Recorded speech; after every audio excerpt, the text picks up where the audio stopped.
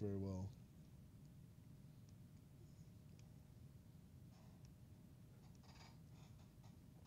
So th- there is sort of a, possibly rare rare circumstance, but but an interesting one, and that is if you have a scenario where you're experiencing both breakouts and drilling induced tensile fractures at the same time, that allows you a way to estimate the strength of the rock via a Mohr Coulomb model.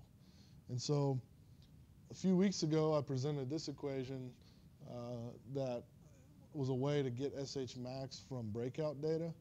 And by the way, I'm timely putting this back up because it, it might be that you need an equation very similar to this or this equation to do your homework, right? That's due on Monday, okay? So uh, in this equation, you know, if you're experiencing breakouts, then you could use a well logging system, TeleViewer, to measure the width of the breakouts, right? So the denominator is all known things. You can do dfit to get SH min. So now uh, the numerator has all known things except for C0, right? And then you have SH max there. Well, if you're experiencing um, if you're experiencing tensile-induced fractures, then from those equations, right, then you have SH max as a known via this, right? So we take that guy and put it there, and the only unknown in the equation then is C0.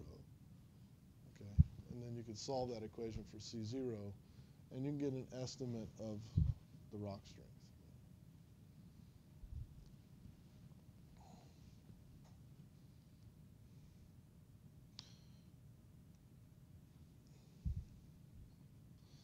So,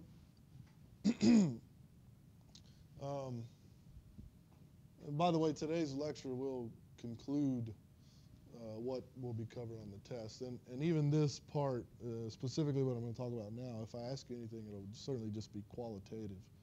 Um, because really the next few slides are, um, you know, based on utilizing the, the the preliminary or the elementary principles that you've learned about the strength of rock, failure models, and other things uh, to basically see what kinds of things you can do with them. Or, but, but in this case, you have to really go further than what the scope of this class allows for. And so if you take, if you ever take a, uh, my advanced geomechanics class, then you actually learn the, the, sort of things we're talking about here, where you use finite element analysis to uh, you know, really build up powerful geomechanical models. And so in this case, this is a, a case study that Zoback presents in several cases in the book, uh, but in, in this case, we'll look at a couple of things that uh, you know, came about uh, by, via the case study. And in this case, uh, this is a Cook Inlet, Alaska, where they were drilling uh, basically from one initial vertical well several kickoffs uh, to horizontal legs. And, and, and they ran into some trouble and other things. So they actually came back later. They, when, they, when they actually did this, uh, when they actually drilled this, these series of wells, they didn't have a geomechanical model. They, they actually built it after the fact. And they sort of went back and retrospectively asked some questions about, well, if we'd have had the model beforehand, how would it have changed the decisions we made? And if, and, and, and then, you know, how would those decisions affected the amount of money we, we could have, you know, made or, and or not lost in, in this case, okay?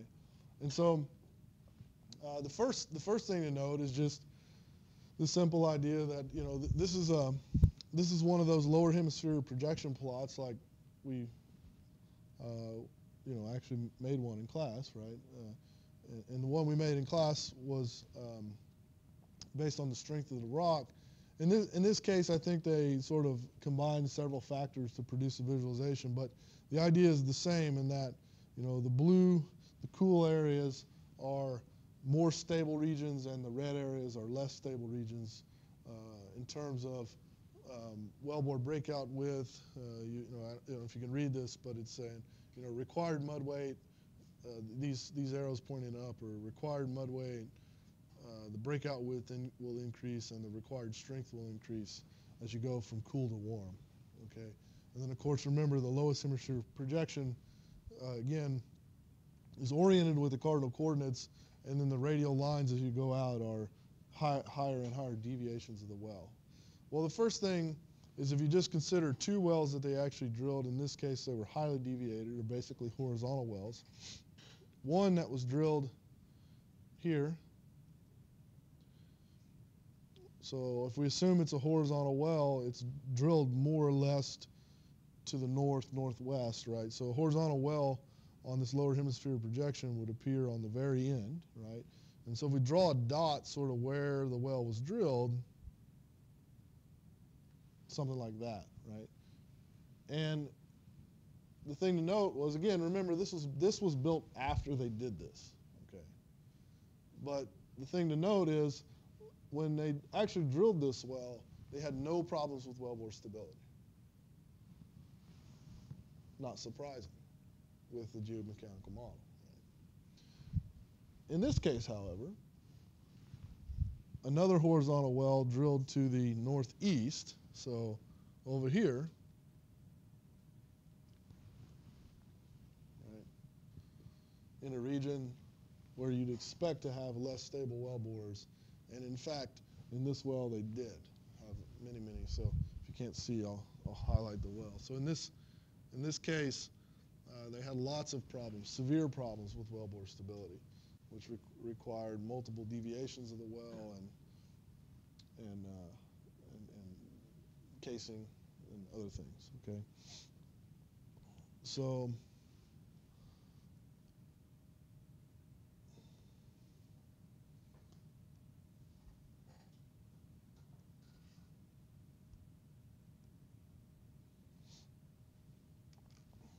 So this is sort of an aside, but uh, there's another another kind of thing that came since since in this case there was one vertical well in which they were performing multiple deviations from or kickoffs.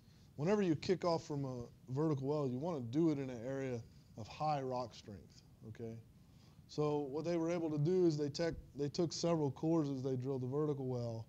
They took several cores and they were able to go back to laboratory and do a bunch of tests, and they came up with this sort of empirical model uh, based on some reservoir parameters for uh, what the strength of the rock is. And now, I don't love empirical models, and you see this a lot. And you know, I sort of joke whenever you whenever you see like coefficients like that in front of in front of numbers, and you see it all the time in petroleum engineering, right? Uh, that didn't come from F equals MA, right? This, is, this is, came from an empirical model. And so you, you sort of lose some of the, and the reason I don't, or, you know, you have, a, not to say I don't like them, but have a, you know, you have a preference to do something more scientific is because, of course, this is just associated with this one single well, right? You couldn't take this empirical model and go anywhere else and do anything with it meaningful. Uh, but in this case, you know, so this is a, this is density of the rock and the, and the uh, pressure sound speed. Um, from the sonogram, then you can they could roughly determine what the strength of the rock is, and given that now they have some estimate of the strength of the rock, they can determine where uh, they should do the kickoffs. Okay. So that's another sort of uh, thing that's in your toolhouse now that you, you you understand something about how rocks fail, behave, and fail. Um, so in order to answer the question about casing, it's not just uh, pure wellbore stability in the sense of drilling, right? Um, it, it, also has to do with sand production. Uh, you would want to case a well that's going to produce a lot of sand. And of course, sand production is, is the petroleum engineering lingo that basically says you're taking on reservoir solids uh, during the production process. So it's not, it, it's sort of a misnomer in that it's not always sand in the sense of quartz, right? It could be whatever the reservoir is. Uh, if you're taking on or bringing back solids with the reservoir fluid, that the terminology, the lingo is called sand production, right? And it turns out that you know sand production problem is sort of the stability problem or the wellbore breakout problem in reverse. Uh, now, now the the pressure in the wellbore is lower than the reservoir pressure. So it's, it's analogous to an underbalanced drilling scenario, right? And that, that pressure differential right there at the wellbore uh, can, you know, basically combined with what you know about the stress intensity, the Kirsch solutions, and other things, uh, can cause a well, and, and, a failure model can cause the wellbore to fail, right? Now the reason that you, you know, if, if, you, if everything was quasi-static, if we could produce the well at a steady state scenario, we could use the tools that we know in this class to determine if there's going to be, at least you know, with a simple model, a Mohr Coulomb model or whatnot, we could use the tools that we've determined used in this class to determine if a well is going to produce sand or not. But the reason you have to do something more advanced, and that's what we talk about in advanced geomechanics, um, is because it, you know the, the uh, near wellbore pressure is highly dependent on the drawdown rate. So in other words, how fast you're producing or you know the, the, the, the, pressure differential, sorry, the pressure differential between the bottom hole pressure and the reservoir pressure um, is what you know sort of causes the fluid to flow at a certain rate. And, and depending on how that pressure differential is, uh, you, you, can cause more or less stress around the wellbore, which can cause more or less sand production. Okay, so uh, these these models were done with a finite element simulation with you know transient dynamics. So now you're including the effect of time and the and the, and the effect of time uh, and and uh, the, the, the pressure changes that will occur as the reservoir fluids are produced, and you couple that with a geomechanical model that predicts the elastic and inelastic properties. Um, and in this case, these are contours of something we call equivalent plastic strain. So uh, if you remember when we were talking about how materials behave, I had a stress strain curve. And of course, if, if a material is just elastic, it just looks like that, right? Uh, and if it's elastic brittle, then it just fails, right? But we talked about how rocks, or at least I showed a curve of some real data on rocks, that under different levels of confining pressure can actually have some inelastic response. Right? right? So at a low confining pressure, it may look like that, and at a higher confining pressure, it may look like that, and at a higher, even higher confining pressure, it may look like that, and you know, ultimately, if it's under really, really high confinement, uh, the rock can almost look like a metal, right? It just continues to flow plastically um, post-yielding. And so uh, what equivalent plastic strain is, if you were to if you were to follow any of these curves up, if you were to take this material and then unload it, you're going to unload elastically. Okay, and this distance, you know, this distance right here is an equivalent plastic strain. Okay, and so a lot of there's some damage models or failure models that basically uh, say that you know at a given equivalent plastic strain you'll have material failure, material separation, and that's what's typically used in these sand production models. So they say, okay, at five percent plastic strain, so we, we do the computation, you know, we actually we, we do the computation with the full up inelastic model full up inelastic response. So we're going to load up, follow one of these curves depending upon the complexity of that model, and then we're going to accumulate plastic strain, and at a given plastic strain, we're going to decide, okay, that material is going to separate, and we're going to include that as some volume of sand produced, okay? And so this is sort of the, uh, these two different plots. So in, the, in this case, uh, you know, you have a 500 psi drawdown and, and uh, slow, you'd have to go back and read the original paper to know what slow is. Uh, but, but let's just, you know, qualitatively, slow is less than rapid, right, in terms of production rate. So um, in the slow drawdown, you, you know, you can estimate, or they did estimate, that you'd have uh, 60 degree breakouts according to some equivalent plastic strain criterion. And um, at, the, at the higher um, at the higher drawdown or at the rapid drawdown, then you'd have something like 90 degree breakouts, which of course would be pretty, that would be uh, pretty dangerous uh, scenario in terms of wellbore stability could lead to a full washout, and you'd produce a lot of sand, right? And of course, that's bad. Sand production is bad because you have to deal with it at the surface, right? You can't just put it in the pipe and sell it. So, you know, this is to, to perform these type of simulations is a little, you know, it's just a small extension of what we learned in this class.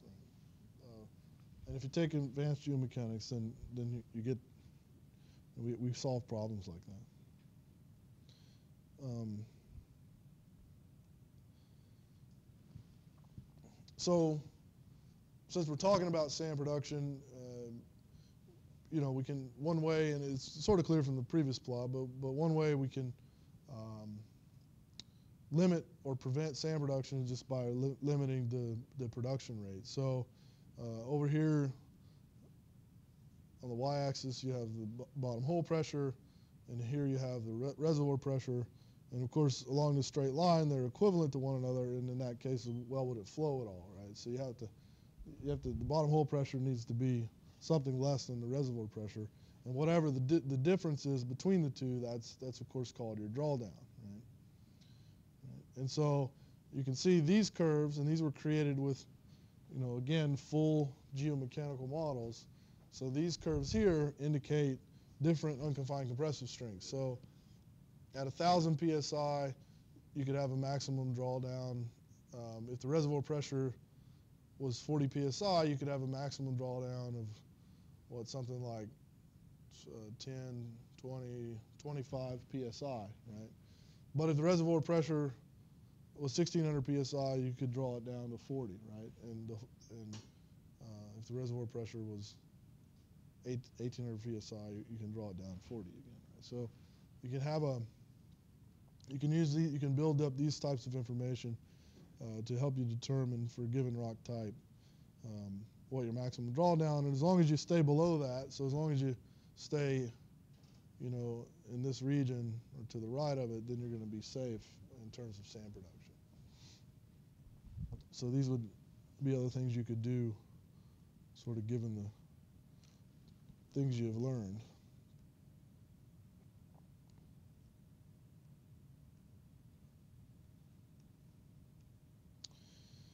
Um, you can also, it's possible to prevent sand production with perforation orientation. So if you had, say, a horizontal well, well, it doesn't really matter, uh, horizontal or vertical, um, where you had your S3 or, you know, if it was a horizontal, uh, if it was a vertical well, then it would be SH min. But if you had your minimum principal stress was here, Uh, well, this, of course, we know is where breakouts are going to occur, right? So that's where the highest compressive strength around the borehole is, right? So if we if we want if we perforate into that area, we're creating weaknesses in an area that's already inclined to fail due to the high compressive nature, right?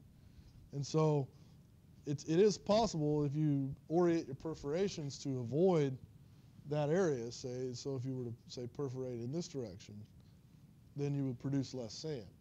And this is demonstrated here. So this is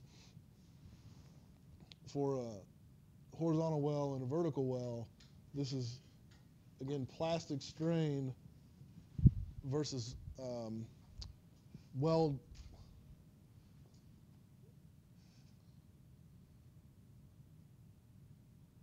I think this plot is wrong. The next plot is the right one. This is actually a, a well deviation, okay? So it's the same idea. But of course, because you by deviating the well, you're, you're changing where S3 occurs along the uh, along the bore, borehole. Then in this case, you can so so forget my drawing here. This drawing applies to the next slide, okay? Uh, but of course, as you deviate the well, you're changing where S3 occurs, and then you can basically control sand production in that way. So this this line is like 4% plastic strain, that's just some sort of rule of thumb criterion that says, you know, if you if you have over 4% equivalent plastic strain, then these are areas where you're going to be expected to produce sand. So in this case, for horizontal uh, for horizontal well then you're you're going to be expected to produce sand for the for this uh, deviation. Okay. So the next slide then is is the one that corresponds to my drawing. And so now this is perf angle from vertical, right? So so if you have if if S3 was aligned with vertical, um,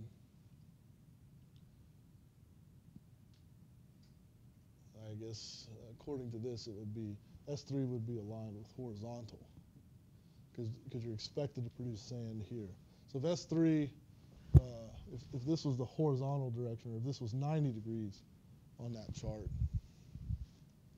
so, so this is zero, that's 90. Yeah. Then, uh, then those are areas that are going to be more inclined to produce sand. And in this case, they show different depletion and drawdowns as well. So at, at, uh, at no depletion, no drawdown, you produce less sand than if you had no depletion and some drawdown. And then after you have more, more depletion, you have more compression on the borehole, then, then, then that causes even more sand production. And this is that 4% equivalent plastic strain line again. So anything above that, you're going to be at a high risk of, of uh, high risk of uh, sand production. Uh, so in this case, you can see that it's, it's, it is fairly sensitive to the orientation. So it, it, it would matter, right? If you, if you perforate at zero degrees, then you know, you're not, you're not going to produce any sand. It's, it's unlikely you're going to produce any sand. Whereas if you, if you perforate into S3, then you, you know, very likely to produce sand for given reservoir configuration. So I think that's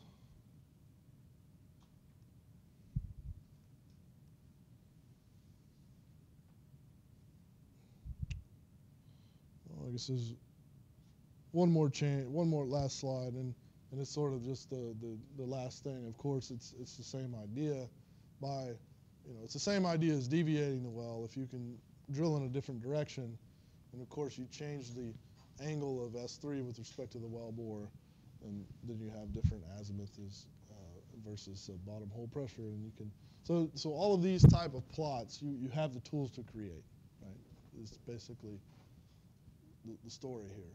So you you you have the tools. You know about rock strength. You know about stresses around boreholes, and you know, faced with any of these problems, you know, you should be able to generate plots like this that give you a space to understand if you're going to have stable well bores, if you're going to have sand production, and other things like that. Okay, so you know, these last few slides, when you get to dealing with equivalent plastic strain and all that, then you know we're, we're sort of beyond the scope of this class, but, uh, but qualitatively, uh, it's all the same ideas that we've already talked about with respect to, really the difference is, is you need a, a, a um, you need to take it a little further with the failure model, right? So, you know, previous, previously we just said, well, we're going to use a Mohr Coulomb model, and if the stress exceeds the criterion, then you just have breakout, so you have failure. Uh, to, to do this, you know, to estimate the amount of sand production you're going to have and other things, then you have to do, you have to take it a little further than that. You have to actually run a simulation to, to determine, you know, exactly how much sand production you're going to produce and other things like that, and how much you have to accumulate plastic strain. And uh, so, um, with that, I guess we'll end a little early today, just because I don't want to.